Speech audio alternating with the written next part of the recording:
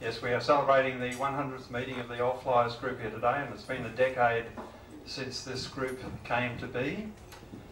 A warm welcome to Brian John, who's the uh, founder, one of the founders of this group, and is here today. Uh, we also have in, amongst this uh, gathering here representatives of the people who were there at the first time. John Douglas, Kate, who's Hal Sutton's daughter. Kate, would you like to put your hand up? There she is, beautiful. Rosalie Hamilton, Roy's daughter. Wife. Wife, I'm sorry. Take the compliment. Take the compliment. They don't come very far with you. Um, like Roy, I'm holding my age well. Okay? Thank you. Stan Shearer, of course, and Brian Hernan. Did I miss anyone amongst that illustrious group who were here at the 2003? Wilbur Wright. Wilbur Wright. Wilbur Wright. No, I don't think he was. he, he was otherwise engaged. and a warm welcome to our keynote speaker, uh, Geoffrey Thomas, aviation editor of the West Australian. You might know his work. You see it on TV and in the paper. Very well respected journalist. To Peter Martinovich, Executive Director, Infrastructure and Planning and Land Services of the Public Transport Authority. And Peter's going to give a talk too. Do have those questions about uh, the rail transport Perth Airport handy. Did Chris Watts make it? No, he didn't. No, Chris. Uh, He's got too much work to do. he's a public servant. What can I say? But we are celebrating the 100th meeting, and I produced, along with Stan and Brian, a booklet to mark the occasion. Particularly important because in there is a list of the talks that we've been privileged to hear over the last 10 years. Who would think there'd be so many and on such um, so many interesting subjects? However, there are five uh, meetings that we don't have DVDs for. I think Stan today has pointed me to some we might have, but if you see a, a, a name there with uh, not a yes, does that make sense? Where there's no yes against it, indicating it's been converted over to a YouTube channel, then I'd love to get that DVD. Uh, talking about the YouTube channel, we've now had eight, no, nearly 9,000 hits since the time it's been put up, and over 500 hours worth of video that people have enjoyed. So these meetings go far and wide, not just amongst our group, but uh, to the wider aviation interested audience. And through that, of course, we're interacting with people uh, who get to know about us. So let's go back to 2003 when this group met for the first time. Who was the Prime Minister? Uh, I was John Howard. And we had Geoffrey Gallop as the WA Premier. And that year we had three Governor Generals. We- That's right. The Iraq War begins.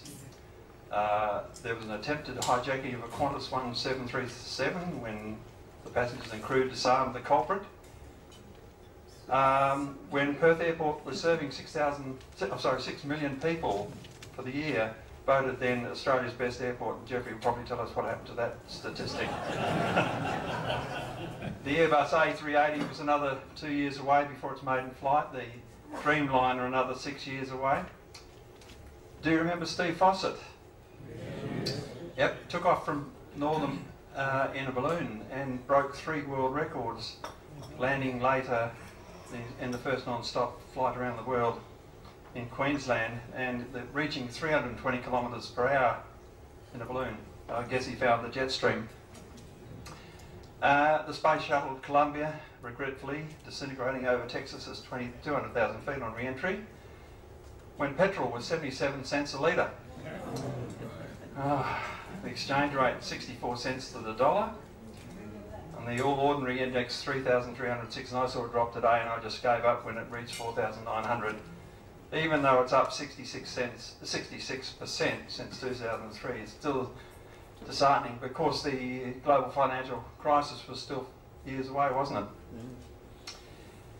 Uh, we're going to break with tradition today.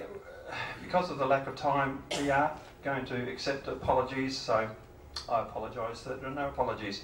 I, I regret that if someone couldn't make it through illness or otherwise, but we promise that with these talks on the internet, they will be able to catch up at a later stage. And so we come to guests, and now we're going to have a, a, a heap of guests today. My personal guest is Ne- Neville Murphy has already signed up. Would you like to stand up, Neville? he's been taking photos. Thank you very much, Neville. Taking photos around the place, and he's already signed up as a member. Uh, retired as the principal of the Lord Lake Senior High School campus. Did I get that right? Replies soon. Uh, I think we can get a talk out of Neville. His younger days spent at Maylands watching tiger moths. I don't think there was a Hay Street Mall in those days. His first fight was with Jimmy Woods, and he remembers winding up the undercarriage in that Anson. a member of the Sports Aircraft Builders Club at Serpentine, and interestingly enough, considering what we're talking today about, he is involved in the website development. I'll give him a free plug of a thing called Wing Australia Net, which will showcase, showcase Perth Airport. So I'm going to open it up to the floor to uh, ask people if they have guests to announce them, hop on their feet. Uh, Michael is the Member of Parliament for the State Legislature and uh, hopes to be induced as the Speaker of the House next week. Welcome, Michael. These microphones don't work too well directly underneath the speaker in the ceiling. Uh, Mr. Chairman, uh, you've already uh, spoken of the presence uh, of uh, Kate Donkin. Uh, she was delighted on receiving the, the booklet to read of Hal, Hal Sutton, being one of the initiators of this magnificent club, and also to see his uh, photograph uh, on uh, page uh, three. I think uh, she would remember those early days when this group consisted of just those three people.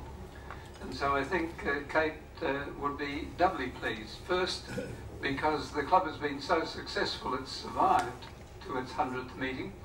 And secondly, because of the attendance, to see it grow from three people to 100 people. Hal uh, also was my uh, cousin, and so Kate and I have had a quiet toast uh, to his memory.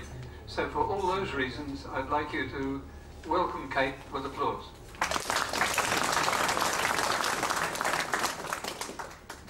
Thanks, Brian. Uh, good afternoon. It's um, my pleasure to welcome Terry Burcock and Terry's wife Lynn. They're visiting from Melbourne. Uh, Terry's a Royal Victorian Aero Club pilot, um, been there since 1991. He's a member of the of the Flying Scholarship Committee for that club. Uh, he's an air judge and um, a keen supporter of the Young Eagles uh, initiative, which you would think would make him uh, a bit like Malcolm Yeo. However, Terry comes originally from down around uh, Anglesea, which ma- makes him a Geelong supporter. However, he does he does know who Polly Farmer is, and I, and I think with the map he'd probably find West Perth as well. So um, Terry enjoys this sort of fellowship, and I'm hoping that uh, that he'll be able to share this today and uh, also take back some ideas for the Victorian Aero Club. Terry Burcott and Linda. I might also add that uh, Western Australia knocked off Victoria in the ALAC last week.